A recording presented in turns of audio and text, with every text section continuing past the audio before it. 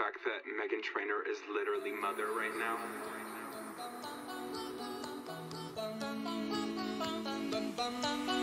I am your mother. You listen to me. Stop all that mansplaining. No one's listening. Tell me who.